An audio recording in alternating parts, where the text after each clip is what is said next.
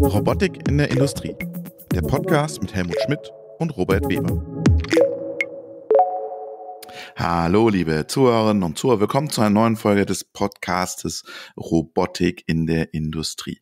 Mein Name ist Robert Weber. Helmut Schmidt ist noch nicht da. Wir sind noch ein bisschen so im inoffiziellen Winterschlaf. Wir haben zwar schon eine neue Folge aufgenommen, aber heute wollen wir euch noch eine Folge aus dem letzten Jahr nicht vorenthalten. Denn wir haben vor, ich weiß nicht, im Sommer über den neuen Festo Cobot gesprochen. Und da wurde so ein bisschen schon angerissen, naja, wir werden auch was im Bereich AI machen. Und der Peter Seeberg und meine Wenigkeit wir haben ja noch einen Podcast zum Thema AI, also Industrial AI. Und wir haben mit Jan Seiler von Festo auch über die Robotik und die Zukunft der Robotik gesprochen. Und diese Folge präsentieren wir euch heute. Ist in Englisch, sollte aber gar kein Problem für euch sein. Wir wünschen viel Spaß beim Zuhören, wünschen euch noch ein gutes neues Jahr, ein gutes neues Robotikjahr. Und wir hören uns dann übernächste Woche wieder mit Helmut und mir und einem besonderen Gast. Bis dahin, bleibt gesund und viel Spaß jetzt mit Festo. Hallo Jan. Hi. Please introduce yourself in three sentences and please introduce Festo in three sentences. Okay, my name is Jan Seiler. I like to inspire people and see the spark of inspiration in people. I am the head of uh, research for AI and controls at Festo. Festo is a company that is mainly known for automation technology. We are a family owned company with around 20,000 people. Our headquarter is in Esslingen, close to Stuttgart. And we have, of course, sales offices all over the world. And within research and innovation, we are looking at the future of automation, at the future of our products and the services that we can give to our customers. And within this group, I am responsible for the whole control team and our AI team, which is focusing on, on features for our products and for our customers. Peter, when we started 2019, I think you remember we were at the Hannover Messe and you were talking to Jan Koutník from NNAISENSE at the Festo booth then. The topic was production organizing itself with reinforcement learning. And we are also had a conversation with Sepp Hochreiter who does something similar in a logistics center. And today we can talk with Jan. What is the state of production at Festo, Jan? Well, we still think about these ideas. We we started a bit, we went back to the roots because just saying organizing production with reinforcement learning is, of course, a, a big idea and it has many facets. But the main ideas that are behind it, that we have our components. Festo has a big uh, catalog of components, around 30,000 components, and then give our customers the option to give us their their challenge, what they want to do with the products or what they want to produce, and us then giving them automatically a solution for what they want to do is, of course, still very valid. And um, yeah, we we took a step back and we um, made this problem smaller into small sub problems, which are for one programming a machine. If you already have a machine, you have to program it. It needs to have the tasks that it has to do. And the other one is building the machine itself. So there you can think of a layered approach. You have the inside layer, which is the programming of the machine, and then the outside layer, which is the building of the machine itself. And then we even think about building the components that then make up the machine. Yeah, I, uh, I recall exactly. I thought it was 2018, but probably 2019, as you say, Hanover Fair. And I think it was maybe the first time that in talking to Jan Koutník from NNAISENSE, and Jan had been working with a team together with you, maybe other colleagues, maybe you can talk about that. Jan, there's two Jans now, uh, number one. And he explained at that time, after he had explained reinforcement learning, that yeah, in the future, with the help of reinforcement learning, are going to build. And then he was showing to, you know, machines that you were demonstrating there and he said, you know, we're going to build these completely new from bottoms up with the help of reinforcement learning. So maybe, Jan, it, it would be useful. I think most of our listeners probably know, but maybe in, in your words, what is exactly reinforcement learning and how could it maybe help us to design products or machines? Sure. Reinforcement learning, very easily put, is learning with a reward. So you, you don't really learn from data itself, but you just tell the system what is good and maybe what is not good. And based on this, the system tries out a lot of solutions and then it gets rewards if it gets closer to a solution and it doesn't get rewards or it even get negative rewards um, if it goes away from the from the solution. And uh, if you think about the engineering process on its own, it's it's very similar. So we also have a goal where we want to go. We want to have a machine that, for example, manufactures something from you have some um, ground materials, some basis materials, and screws and tools and so on.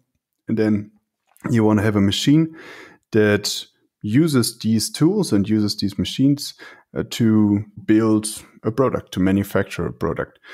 And then of course, there are also steps in between. So you, you first have to maybe, let's say, put uh, two parts together, screw them together, and then these two parts are a new subpart that you then manufacture to another part. And there you can already give rewards, right? So if you have um, an algorithm or have uh, the PC do this, you actually know which direction you want to go because you know what is the end product, you know your final output.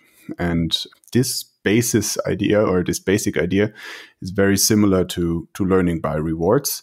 And it's also the only way that you actually could solve this because you don't really have a lot of data if you want to have a new machine.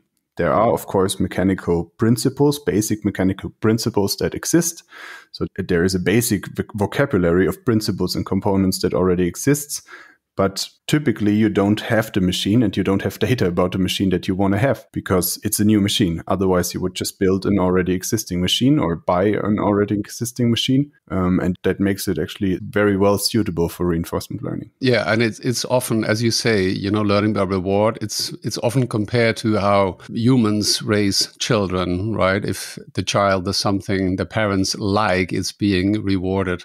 Maybe you could share with us if there's, you know, one or two typical you know activities around reinforcement learning that maybe you have been impressed by in the last whatever years months that you say okay they were doing such and such and we want to do something similar in automation or we want to go a step further.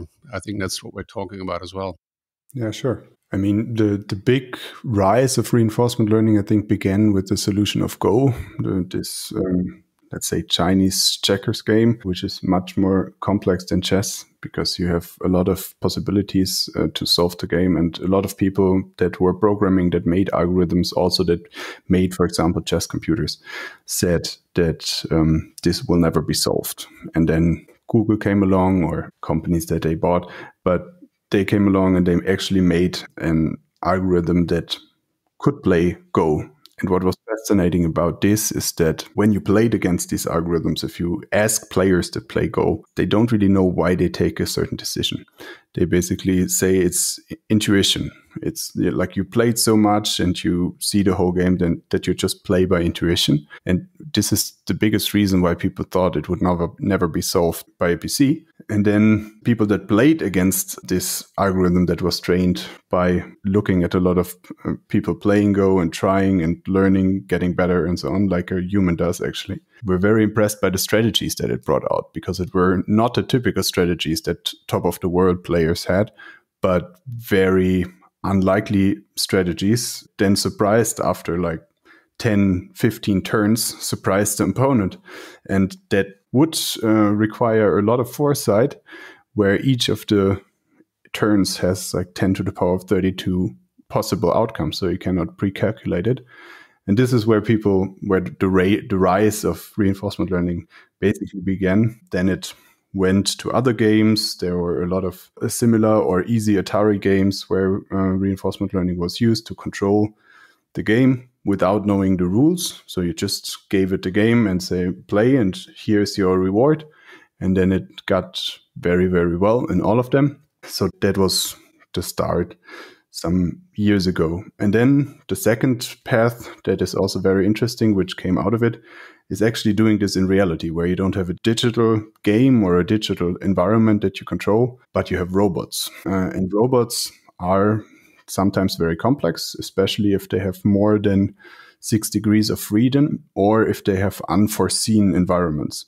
If you think of walking robots, for example, if they walk and everything is like has a well has a good friction, then that's very good. But if they all of a sudden step on ice, they have to react very quickly to not fall over. And I think everybody already saw these fail videos of robots trying to walk and stumbling and falling. But here reinforcement learning made another push and made another step forward where we were able to build robots that react very naturally and very quickly to changing environments. And that was also the starting point for us. Uh, we also started with robots avoiding obstacles or robots interacting with humans and um, doing tasks and avoiding to hit the human, avoiding obstacles in their path dynamically and also with a um, dynamic environment, still being able to solve the task. And we still want to take this uh, some steps further. As I said, we want to be able to program the, the machines by its, on its own. This is very similar to this robot task, but there you already have the system. And now the next step is not having the robot, not knowing what the system is and what it can do, but building this out of existing automation components or as I said, even further ahead, maybe building the whole component. Let's come back to the robots. How do you set up conditions for this task? You mean the reward? Yeah. Yeah, it's it's very sparse actually.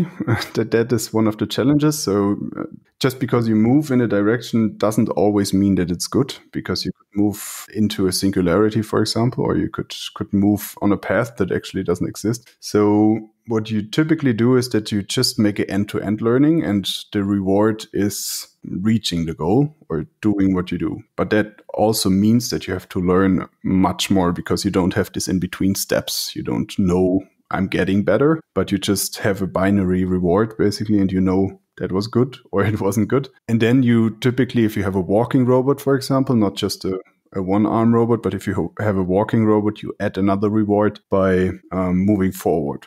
Right? So it's better if you continue to move forward or if you move forward in a certain speed. So there is actually a progress. But yeah, that, that is a bit of the difference. If you have some progress in, in the room and you, you want to move, then you can add this as a reward. But for a stationary robot that just has to solve a task, it's even more sparse because you basically can just say you solved the task or you didn't solve the task.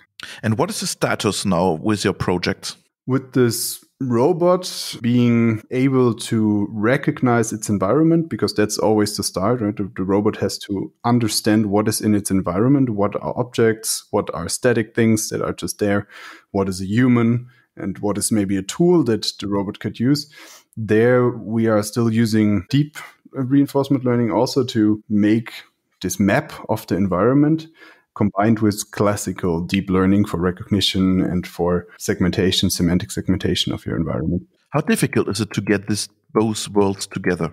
Because it's a totally different approach, I think.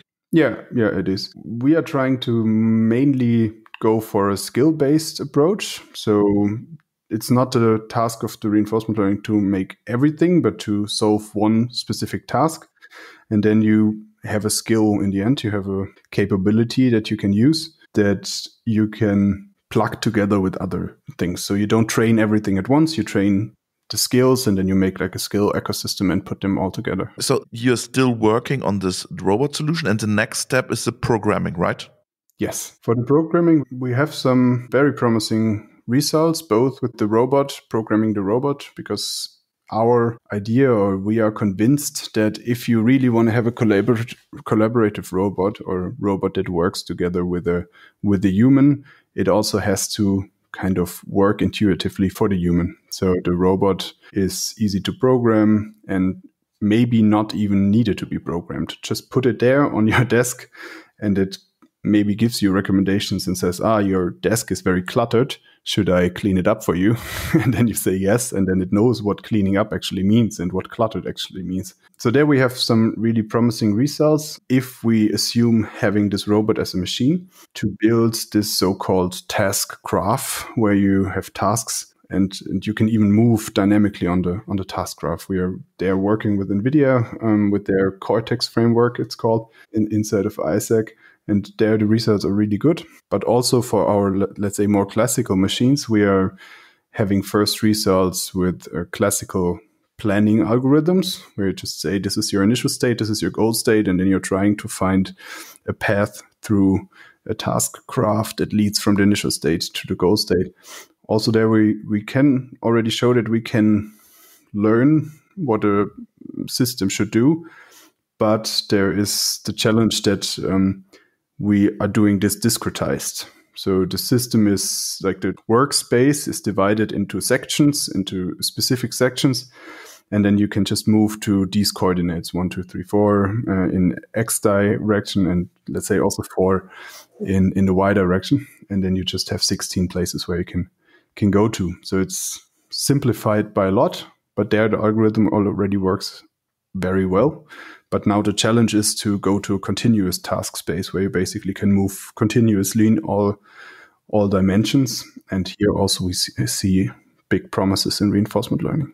Peter? Uh, yeah, you already mentioned, Jan. So you're using existing planning systems. My question is, are they your systems? I mean, the same thing for you know the engineering systems we've been using for I don't know, probably 50 years or something. Are those engineering planning systems being changed? You know, are, are they being updated? to include, you know, reinforcement elements. Later on, we talk about, you know, generative models. Are you building those kind of tools yourselves, or are you working with, you know, the providers of those systems? Mm, that's divided. We, for one, as Festo have our own engineering tools, which is kind of an IP for for our like very specific solutions, maybe. So there we are bringing these solutions into into play and into the usage of our customers but also we are also uh, in bigger research projects for example or in collaborations with other companies where we try to in a bigger group tackle this this task and um, there we might also see the see the solutions coming to the market. Jan, I want to come back to the interface you mentioned. Is it a voice interface or it is a vision interface? What is the idea? So the robot itself, of course, has a camera interface. It has a, a RGBD camera, which means it also has depth information about its environment. Uh, together with the RGB, like the normal image information, but we are also including other sensors and uh, fusioning them together. So we have haptic sensors, and we also have infrared sensors. And over this, we are actually laying a, a stochastic model that decides which sensor is the most safe because like you could imagine a robot having a camera but that, then the light being turned off around it then the camera is pretty useless. So we have to have some stochastic overlay that says now switch to this sensor because this sensor is the best. And what about the people who are working together with a with a robot? Are they satisfied with it that the robot gives task or sees task what to do or do you have tested that? Yeah, we started to test. There's actually pretty fascinating research about accepting robots and robot movements because robots don't move naturally by itself. Like they, they move as you tell them, so they can move very quickly and also very strangely for a human. So there is a lot of research that went into this. How should a robot actually move to be accepted in the comfort zone of a of another human? And then the interaction is also very important. And to our experience, it's always then very successful if the robot actually helps and if you feel like you teach the robot something. So if you have a very intuitive interface, it might be your voice or gestures or just a touch screen. And then you teach the robot little things and uh, then you have like a success and you say, ah, I, I taught the robot to do this. That's awesome. And then it becomes a helper rather than a a foe. so you're not threatened by it. But you mentioned that the robot tells the people, oh, your desk is very dirty. We have to clean up. That's the other side. Yeah, that's true. It, it, it wouldn't say you have to clean up. It asks, should I clean up for you? but uh, yeah, still, that's true. Of course, we give we give ideas what might be the task so you don't have to start by zero if you want to program. If the robot already knows basically what to do you can say okay yes i want to do a pick and place or i want to do a cleanup or i want to do uh, take something out of a tray and give it into my hand uh, application. And then also all the robots that are connected to they they benefit from knowing that this is like one application I think, Peter, it sounds like an AI out of the box. The customer won't recognize the AI in the robot anymore. I don't know about the details of the robot that, that you're working on, Jan. So are, are they typically humanoid robots looking like humans or? Well, they are typical arm robots, like these six axis arm robots, but with very rounded edges. So they are actually collaborative, um, but not humanoid, no. Oh, okay, good. Yeah, yeah. I've I've never really understood why one would do that, but uh, yeah. So I'm I'm I'm with you there. I don't I don't see why you should, as a human, should have you know um, a piece of hardware software next to him or her, which um, which tries to look like a human. I at least as there's no added value to it, right? So yeah, I mean you you you give them the arms, the the legs, the things that the robot needs if you allow, I want to go one step back to where you talked about DeepMind, uh, AlphaGo, uh, then AlphaZero, and and my understanding of it is that with AlphaZero, then it the algorithm was not training, it was not looking at, for example, chess programs, uh, and that's my point. My question is if we're training algorithms, you know, specifically uh, also the direction of, let's say, reinforcement learning, although there is not normal training, I believe, we will arrive at things that engineers have been developing in the last 10 years. Now, I would have thought, and then we come to the generative, I believe, is that what we would like is to say, you know, this is the end goal. End goal is whatever, you know, a cup of cup of tea, cup of coffee, whatever it is. And you algorithm in your environment through agents, through robots, you please find, you know, what is this thing that I give a, a reward or a goal for? Is, is that idea correct that we should we can expect at some point in time algorithms to give us new designs, completely new designs, because we humans have just not been able to think of such a design. Yeah, that's at least a possibility. I don't know if it will come that way, but I think if we don't give the robot the boundaries that maybe human imagination had or that like or the algorithm the boundaries that human imagination has then it might find solutions that we wouldn't think of or it might find clever combinations of subparts that we would not think of of course, it will not redefine physics. So basic natural laws will, will always apply, but um, it, it might still find solutions that are untypical or that we might not think of. And that's also why why I think in this creative hypothesis phases of the engineering process, where you think of solutions, it might be a, a great help already. And then the rest of the process, the testing, and maybe going back to make a new hypothesis and so on, that can also be supported by AI. But I think this this hypothesis generation, what is a possible solution to my problem? There we have uh, huge potential. You're talking in your presentation about generative system design. I think that's the claim. Uh, how is that going to work? Well, let's see. I don't really know. uh, it's a it's a research question. Okay. But the idea is exactly what Peter said before. We give a goal to a system, to an algorithm, and say, build me a machine that does this, or build me a solution for this.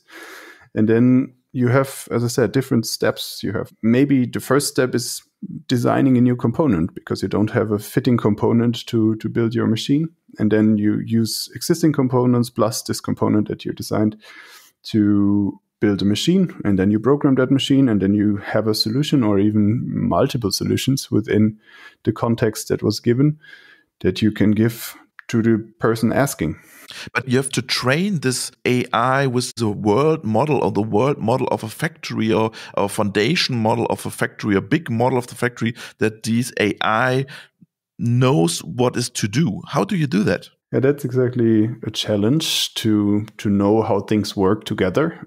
I think that's also why we, we already have generative models for for static things. So if you want to build a chassis or you want to build some some connectors, you already can use models that basically try out the whole solution space and then give you the component that is lightest, for example, or or that is cheapest or whatever. You can already do this, but there you don't have that much interaction between different things and definitely not actuators that can move something maybe you have two or three more materials but you don't have interaction. And that's that's really a challenge. How we are tackling it is putting a semantic underneath it which uses a lot of uh, modeling uh, beforehand of course. And the problem might be if the modeling is wrong you cannot learn something correct. So maybe we have to move away from that. But at the moment we have a knowledge graph that knows all the components and their geometric and electric and so abilities. And then you can infer from this what fits together and if it fits together, what it, new ability it gets if it is together. Because if you, for example, look at an axis, an axis by itself cannot do anything. It always needs a motor to move it or some kind of uh, energy source to move it. And uh, this you have to know. Otherwise, you would just take the axes because the axes has the ability to move linear. But you need to know that you need something that, that actually moves the axes and so on. I think that's very interesting because that sounds for me like you're working on a foundation model of a factory, Jan. Yeah, of a factory or of automation. Process. process. Yeah, yeah, processes, automation processes in general, yes because Peter, we, we had a lot of discussion with our PLC guys, and we always told them, "Hey, you have to work on that because your PLC has so much data."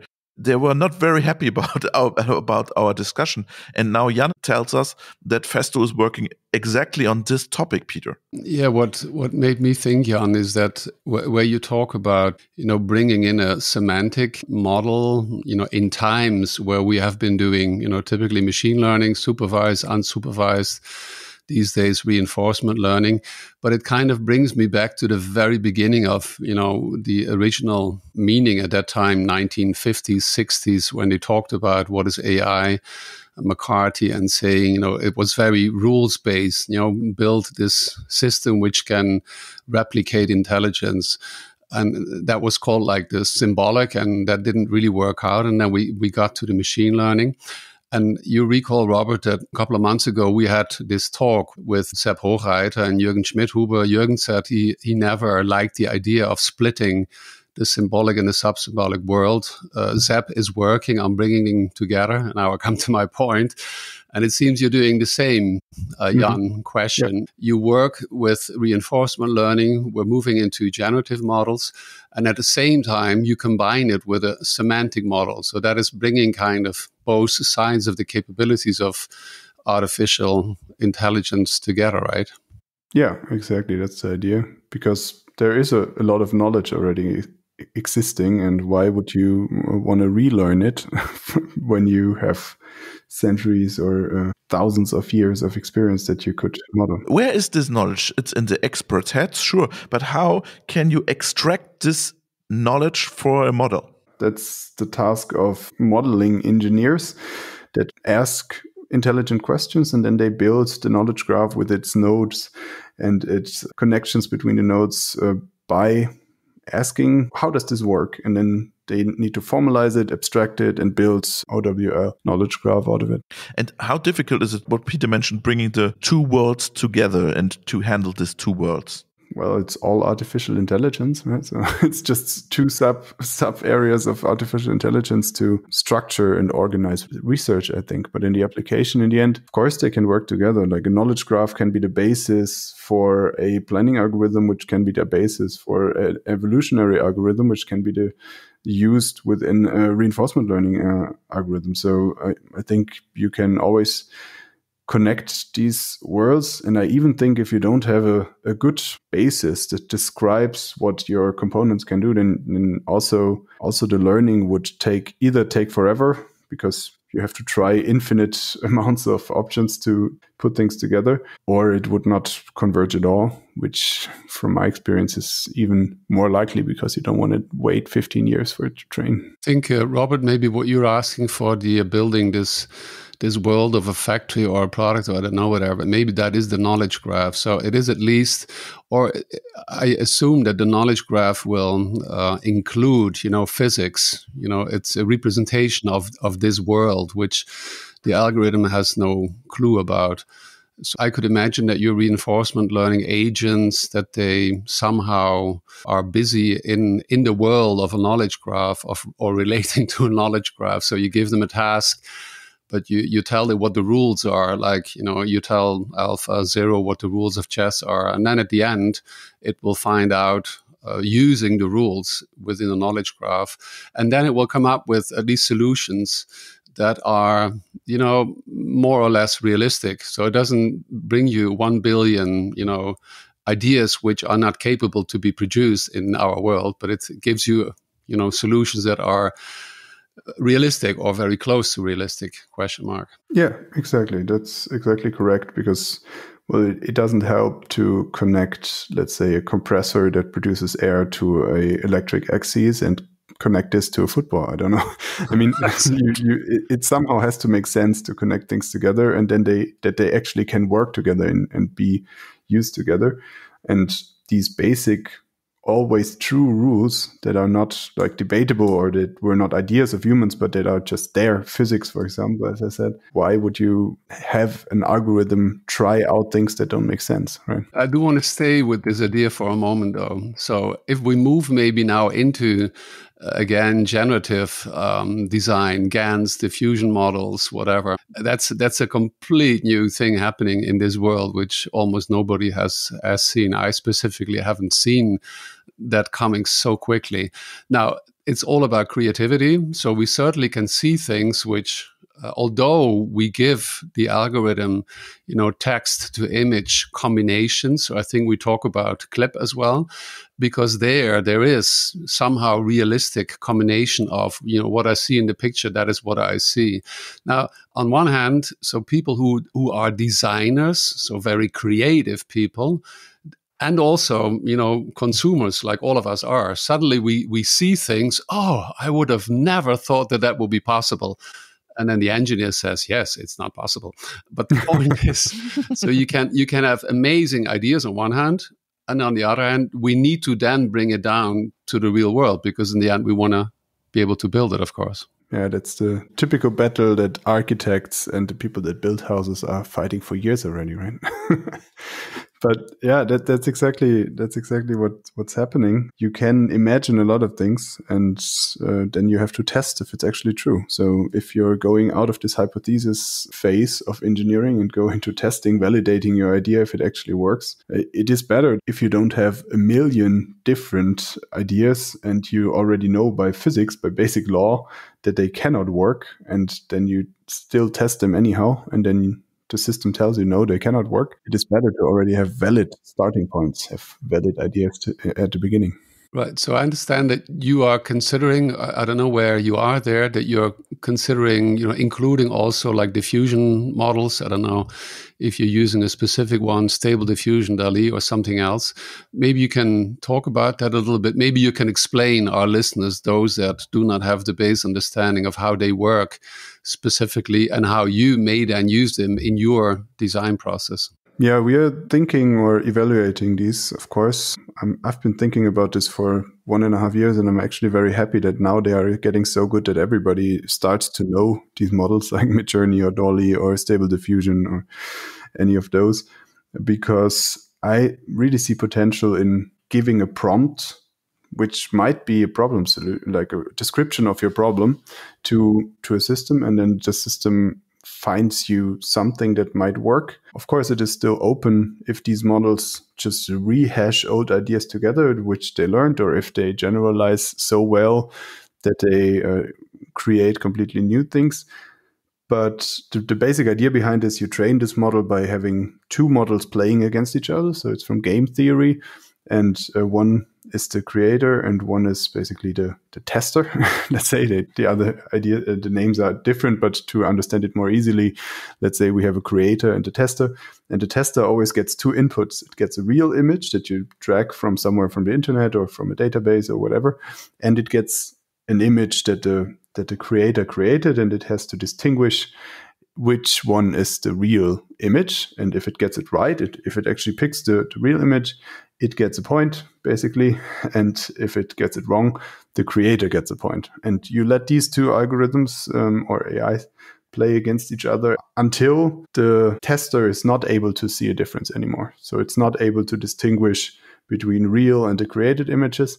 And then you throw the tester out, you fire it, and you basically you just say here uh, the creator is now good enough to create to create things that are so close to reality that the tester couldn't distinguish them anymore. And then you have these these models, these generative models, and typically what we see today is that the input is a prompt or another image. Like there are different Im- uh, inputs, but the most well known, I think, is a prompt that you type. Um, let's say I want to have a panda bear on Mars, which is something that you wouldn't see in a, in a real image, and then you get images of panda bears on on the Mars that uh, actually look very well, and you can also say which style you want it in, and so on. So that's that's what we are seeing uh, today, the models that we have today. Yeah, but that's easy. Let's let's switch to the machine building. mm. Easy. Yeah, there of course are way more steps. You don't want to have an image. You want to have a 3D model or a functional simulation, actually. So uh, um, a working model of something that does something. So they're from where we are at the moment, which is already very impressive, but where we're at at the moment, where we get to the images, there are still some steps to take.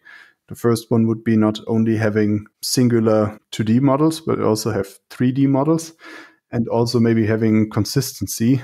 But I think we are getting there. We already have image text to video. So you create multiple images and they are not too far from each other. So you're not chaotically moving in the solution space, which was a problem of the very early models that if you change slightly the seed or uh, like the, the, random seed as an input or you slightly change the input you could land in a completely different space of the solution space you it, was very chaotic but now they are getting more stable so that that is the first step that you actually have more consistency in the output but of course there are what we already discussed before there are basic things that that have to be true. Like, how does something work? How does something move? How does movement in itself work? How does energy work? And all of this is not yet in the model. So they just create something and actually couldn't exist. What I just said, a panda bear on Mars couldn't exist because it couldn't breathe, but the model doesn't know that, right? And you have moving parts at Festo too.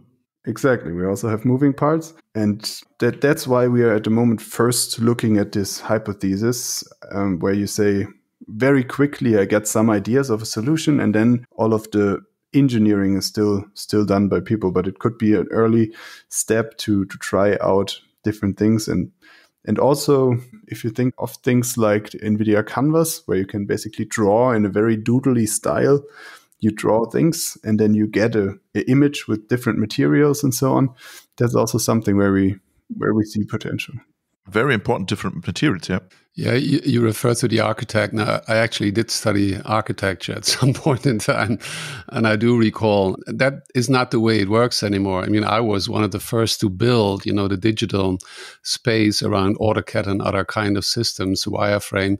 But you know the designer it doesn't matter if it's an architect or if it's a you know a colleague of yours jan you know sitting there and considering what it is that you know the component is going to look like there's always a creative element. And we're going to see i think if these systems are going to be only coming up with things that are physically possible.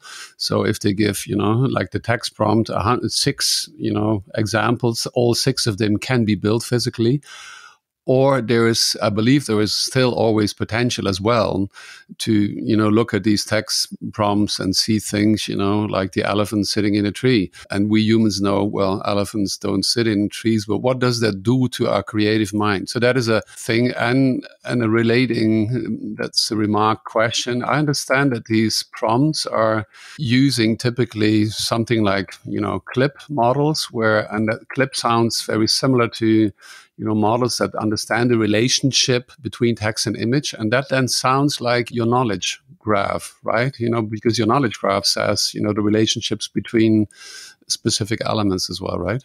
Exactly. So we definitely would need to retrain and have a different database um, that, that is based in the physical world and what is existing but that is at least a way that we want to try out. I don't know if it will work but i see potential in it and i think it is very interesting to explore and then in the end, the, the next thing is going to be, I'm not sure you've been thinking about that, but we, we talked about, Robert and I, you know, the, the last time we did our news update, and I shared this idea that there is a, whatever, uh, a group of uh, artists, of designers um, who have been making imagery and putting it on the internet. And it could be that know, Stable Diffusion or other ones have been scraping these images off the web. So they, they never, as far as I know, do reproduce an exact image, as we just discussed.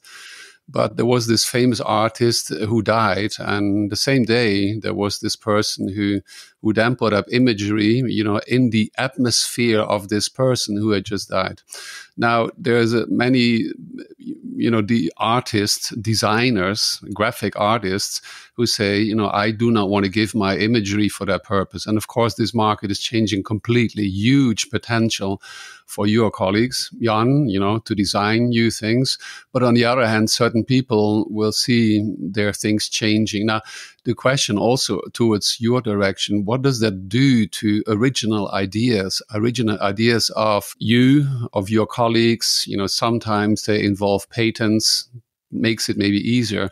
But what what does it do to ideas that come from you your colleagues and the next time for some reason you know colleagues from other companies from competitors can use as well yeah, yeah, that's a very good question and also a very open discussion already in the current, as you said, in the art industry or in the designers industry.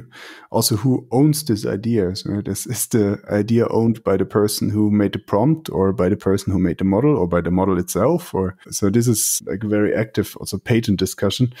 And also, actually, to be able to fully train such a model, you would need all the mechanical principles that already exist, but um, some people might not want to share it them, and then you will not have all the solutions. So it has great potential for, let's say, an open source uh, approach where we actually come together and and use these ideas. But it also has the risk, I guess, from a business point of view, that you would share ideas that you want to be yours and that could lead to everybody having their own thing or everybody learning their own knowledge base that they have in their, their company might also be a way to go forward. Then you can still have your IP, but you don't share it with anybody else.